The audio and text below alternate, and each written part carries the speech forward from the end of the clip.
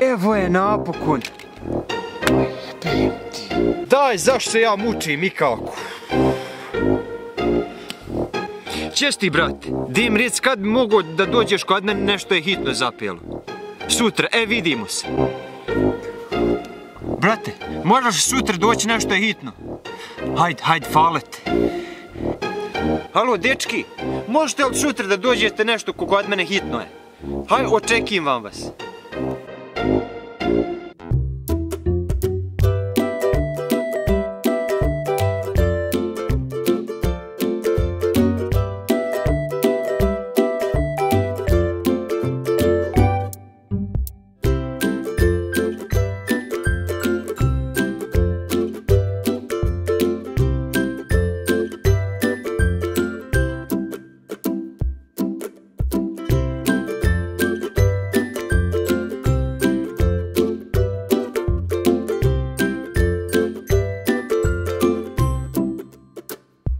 Došli. Šta je problem? Šta je problem? Šta je problem? Problem je 30 bureka. Slušaj sad, ima problem. Slažem kula od karata, ali ne mogu nikako složiti, baš da mi se sruši. Jesi zato nas zvao? Jesi ti normalan? Ja mislio da je glava u pitanju. Ja kod kuće ostavio teleću glaušu. Pa važno je, brate, rekli ste da vas zovem kad mi nešto treba. Haj već kad smo ovdje da mu pomognemo. Pa i trebaš mi pomoć. I meni si pomogao kad sam trebao dijete praviti.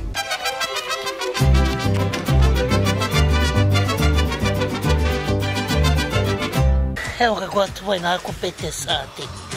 Pa nije ovo kula, ovo je štala, šta je ovo? Držite ga, momci!